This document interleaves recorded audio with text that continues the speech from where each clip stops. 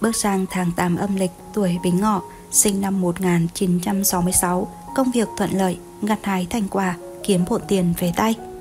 Hoan hỷ chào đón quý vị khán thính giả đã quay trở lại với kênh Đại Phú Quý. Quý vị thân mến, Tử vi học có nói rằng mỗi giai đoạn của cuộc đời sẽ có phúc họa, sướng khổ khác nhau và mỗi người sẽ có cách riêng để phản chiếu lại ý trời.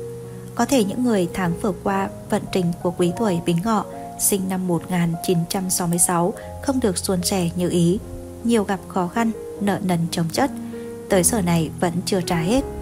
Coi bói tử vi phương Đông, bước sang tháng 8 âm lịch, các sao phúc tinh liên tục dịch chuyển chiếu thẳng bệnh tuổi Bính Ngọ, sinh năm 1966, được trời ban nhiều phước lành, quý nhân phù trợ. Nhờ đó mà tuổi canh thân có thể nhìn thấu phận trình tương lai, biết xù cát tị hung, tận dụng hết thảy may mắn, trùng lớn liên tiếp, trả sạch nợ nần, đổi đời đại gia.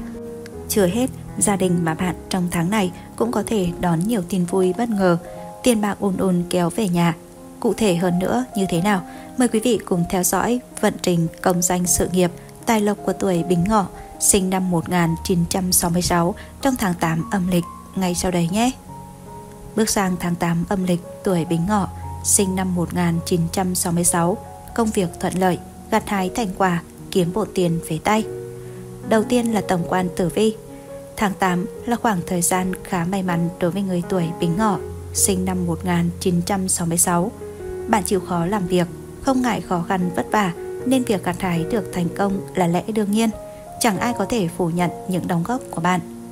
Trên phương diện sự nghiệp, do có lâm quan chiếu mệnh, bạn nắm rõ được nhiệm vụ của mình nên luôn hoàn thành tốt công việc mà không cần phải có bất cứ ai nhắc nhở hay đốc thúc. Bên cạnh đó, bạn cũng dành nhiều thời gian để bổ sung kiến thức hữu ích, nâng tầm giá trị của bản thân. Bạn có mục tiêu rõ ràng nên luôn cố gắng hết sức mình, ngay cả khi người khác đang nghỉ ngơi. Chuyện làm ăn cũng có những khởi sắc đáng kể. Bạn luôn chắc chắn trong mỗi đường đi nước bước nên không lo thua thiệt. Con giáp này có thể xây dựng được một đội ngũ những khách hàng trung thành nên đồng tiền đổ về túi luôn ổn định. Đồng thời, tử vi tháng 8 năm 2024 tuổi Bính Ngọ, sinh năm 1966 âm lịch, thấy rằng bạn cũng dần tham vọng hơn, suy tính tới việc mở rộng quy mô, thu hút khách hàng mới hoặc thử thách bản thân ở những lĩnh vực chưa từng thử sức. Cụ thể về sự nghiệp, Nguyệt lệnh lâm quan là một trong những yếu tố giúp người tuổi Bính Ngọ sinh năm 1966 gặp được nhiều may mắn trong sự nghiệp vào tháng 8 này. Bạn luôn chăm chỉ, nhiệt tình với công việc của mình, nhờ thế mà nhận được sự đánh giá cao của mọi người xung quanh. Thời điểm này, bản mệnh luôn sắp xếp được các kế hoạch, công việc khoa học, biết rõ mình cần phải làm gì, phải làm như thế nào, nên dù gặp khó khăn đi nữa, bạn cũng không quá bối rối. Thậm chí, một vài vấn đề nảy sinh trong tháng này lại trở thành cơ hội để bạn vươn lên khẳng định bản thân. Đồng thời, bạn luôn chú trọng việc học tập kiến thức mới và tích lũy kinh nghiệm để hoàn thiện bản thân. Với bản lĩnh của mình, bạn không những thể hiện bản thân xuất sắc mà còn có thể dẫn dắt mọi người phát triển theo một hướng đi mới. Những gì bạn làm được trong khoảng thời gian này sẽ giúp bạn lọt vào mắt xanh của người làm lãnh đạo. Cơ hội thăng chức, tăng lương không còn xa nữa. Thậm chí, bạn cũng có thể là người chủ động đề xuất quyền lợi cho bản thân nhiều khả năng sẽ được cấp trên chấp thuận. Tuy nhiên, điều đáng lưu ý với con giáp này là dù gặt hái thành công, bạn cũng trở nên khoe khoang tự phụ. Hành động đó có thể khiến bạn mất điểm trong mắt của mọi người, đồng thời khiến cho bạn ngủ quên trên chiến thắng, tạo ra cơ hội để kẻ xấu hãm hại hoặc người khác vượt qua mình. Về phương diện tài lộc, nhiều khả năng người tuổi Bính Ngọ sinh năm 1966 sẽ kiếm được một khoản tiền trùng rình trong tháng 8 này – bạn luôn chăm chỉ, cố gắng hết sức mình, làm việc ngay cả khi mọi người nghỉ ngơi. Vì thế, bạn gặt hái được thành công là hoàn toàn xứng đáng. Với người làm công ăn lương, bạn nhận được nhiều lời khen ngợi cũng như nhiều phần thưởng nóng nhờ những thành tích xuất sắc trong công việc. Cấp trên chắc chắn rất quý trọng những nhân viên gương mẫu, nhiệt tình như bạn và muốn có hành động thực tế để cổ vũ tinh thần cho bạn. Với người làm ăn kinh doanh, bạn luôn giữ vững định hướng của mình – cho dù mọi người xung quanh có bàn ra tán vào, thậm chí có lên tiếng ngăn cản đi chăng nữa, bạn cũng không lùi bước. Bạn mệnh biết mình phải làm gì và làm như thế nào nếu muốn gặt hái được thành công. Bên cạnh đó, đội ngũ khách hàng thân thuộc cũng giúp bạn có một nguồn thu nhập ổn định con giáp này có thể xem xét, đánh giá tình hình thực tế để mở rộng quy mô làm ăn, mạng lưới khách hàng của mình, thậm chí thử sức ở những lĩnh vực mới mẻ hơn. Tử vi tháng 8 năm 2024 tuổi Bính Ngọ, sinh năm 1966 âm lịch, tin rằng với khả năng đánh giá vấn đề mới mẻ, tinh tế, bạn có thể trở thành người dẫn đầu xu hướng và kiếm về bổ tiền.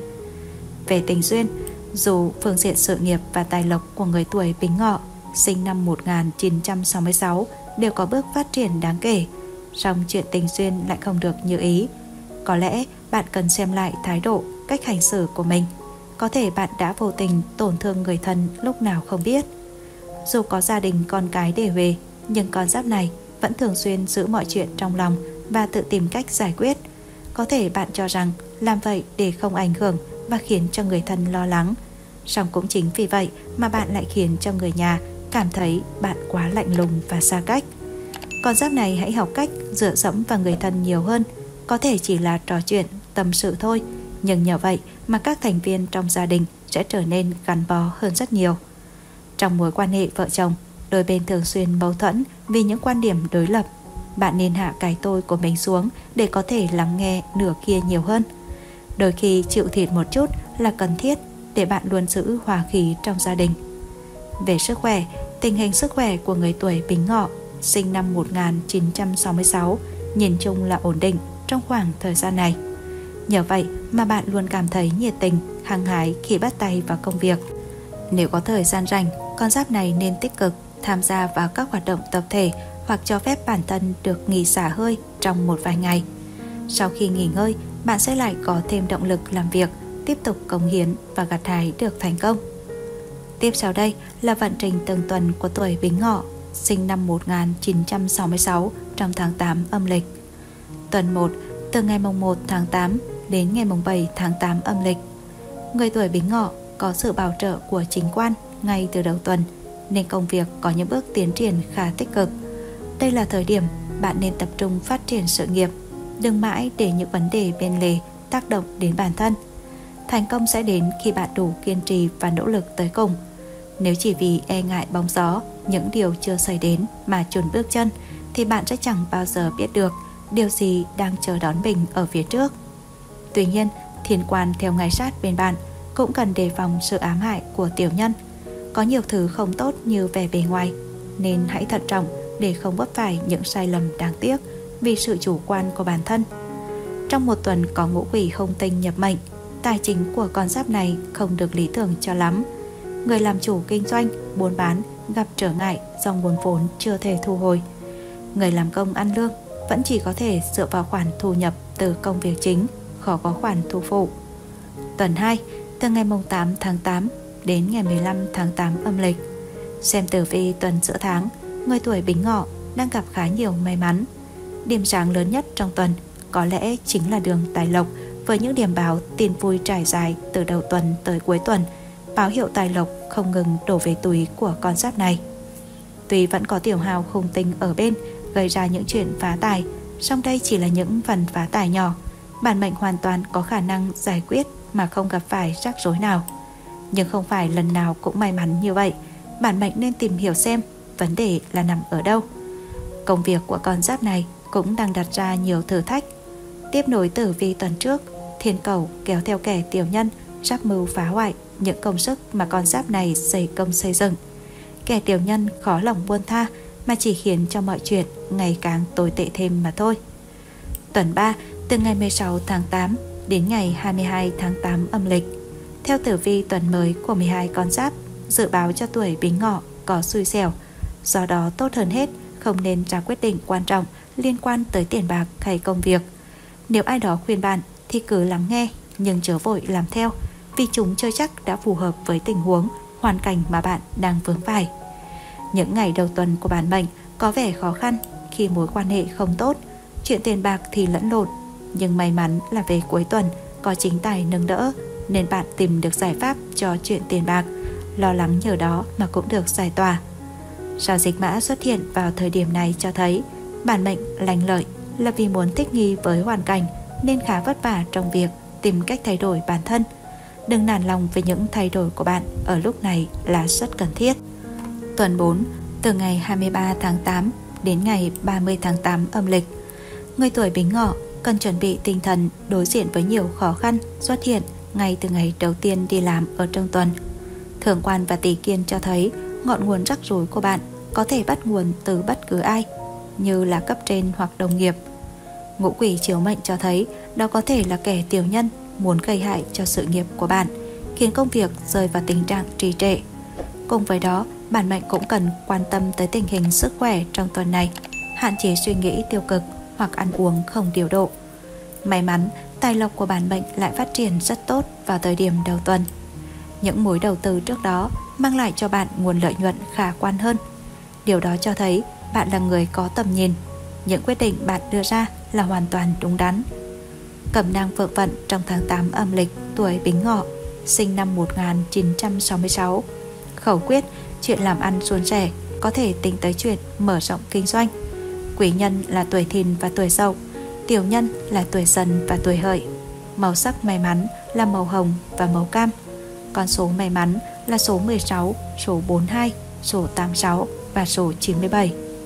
Đi đến video số này rồi thì lời cuối vẫn luôn muốn gửi tới quý anh chị về đôi lời Phật dạy.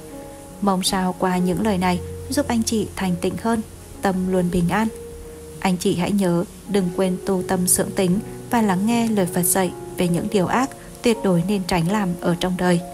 Nếu muốn tích phước, chúng ta thường không biết rằng mất phước nhanh hơn là tìm kiếm phước lành. Cùng xem những điều ác không nên làm để không phạm phải phước bất cứ lúc nào không hay. Thứ nhất, hay gây gỗ và xung đột, nói xấu người khác. Xung đột và mâu thuẫn với cha mẹ, cấp trên và người lớn tuổi. Nói xấu người khác vô tội vạ, sống chỉ biết mình. Ai động đến là dựng lên thì phước đức chẳng mấy mà bay sạch. Việc xung khắc mâu thuẫn với cha mẹ là việc đầu tiên sẽ làm tổn hại tới tài lộc, hao tổn của cải. Có cầu xin gì cũng không được, cầu xin cũng vô ích, chẳng bao giờ tích phước. Khi đến cả cha mẹ cũng không đối xử tử tế, muốn được coi trọng thì không được coi thường người khác, muốn giàu thì không được tức giận, bất bình không được khiến cho người khác phẫn nộ. Công việc của anh chị không được suôn sẻ, gặp nhiều rắc rối, hẳn là do anh chị đã mâu thuẫn với cha mẹ và thầy cô từ khi còn nhỏ. Chưa thay đổi được tình khí này trong tử vi thì cha mẹ, thầy cô là quý nhân phù trợ cho chính anh chị. Hiếu thuận với cha mẹ, tôn trọng thầy cô, không làm trái ý cha mẹ, thầy cô. Có như vậy mới tích đức cho bản thân, thành công trong hôn nhân và công việc. Chỉ khi được giúp đỡ bởi chính mình, anh chị mới có thể may mắn. Không ai có thể giúp bản thân mình ngoài chính mình. Đừng bao giờ giận dỗi, làm trái ý cha mẹ. Hãy nói nhỏ nhẹ, đừng làm cha mẹ buồn, nhẹ nhàng nói ra những bất bình, bất mãn của mình. Thứ hai, sống bất hiếu. Không hiếu thuận với cha mẹ thì sẽ gặp phải xui xẻo trong công việc hàng ngày. Vì trời Phật vô cùng khinh thường những người bất hiếu với cha mẹ. Nếu anh chị không vâng lời cha mẹ thì Phật oán hận. Những người không hiểu kính cha mẹ thường nhận được công việc không như ý và hôn nhân không hạnh phúc. Quả báo cho tội bất hiếu thì có hóa giải vài kiếp cũng không hết. Tài lộc trong vô hình bị tước sạch, tuổi thọ tồn giảm, công danh sự nghiệp tuột dốc không phanh, luôn gặp anh chị xấu ác, tài ương liên tiếp giáng xuống.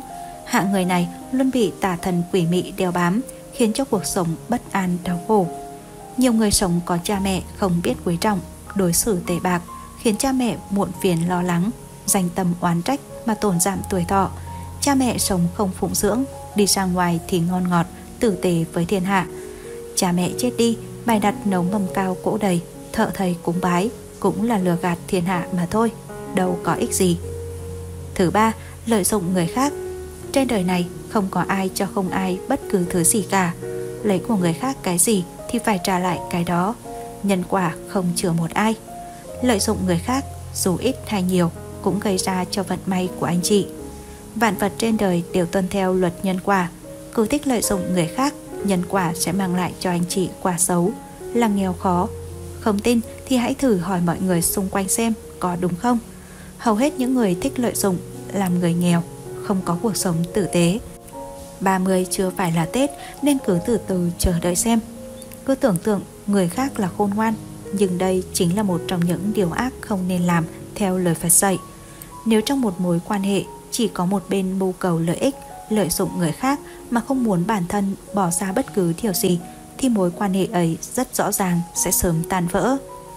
Thứ tư, hay sát sinh là hành động gây mất phước bực nhất trong mọi việc làm của con người. Anh chị không thể không mua đồ sống để xiết và nấu nướng, nhưng hãy hạn chế hết sức có thể. Những người muốn tu hành thì côn trùng và kiến cũng không thể tùy ý làm hại chúng. Người lớn lên dạy con trẻ không chơi với côn trùng, kiến, chim sẻ khi còn nhỏ để phúc báo, không bị tổn hại, tuổi thọ của chúng không bị rút ngắn. Những điều bất lợi của việc sát sinh là tuổi thọ ngắn, làm việc kém, bệnh tật, oán hận, nghèo khó và xấu xí. Vừa rồi, Đại Phú Quý đã chia sẻ nội dung tử vi tuổi Bính Ngọ, sinh năm 1966 trong tháng 8 âm lịch. Hy vọng rằng với những thông tin mà chúng tôi vừa chia sẻ sẽ giúp cho quý vị có cái nhìn tổng quan hơn về vận trình công danh sự nghiệp, sức khỏe và gia đạo của mình. Từ đó có những kế hoạch để có thể chủ động nắm bắt được cơ hội trong tương lai. Quý vị cũng nhớ đăng ký kênh Đại Phú Quý để ủng hộ cho ban biên tập chương trình. Rồi sau đó nhấn vào biểu tượng chuông để liên tục được cập nhật những thông tin bổ ích mỗi ngày. Chúc quý vị luôn mạnh khỏe, bình an, gặp nhiều may mắn và thành công trong cuộc sống. Còn bây giờ, xin chào và hẹn gặp lại quý vị trong những video tiếp theo.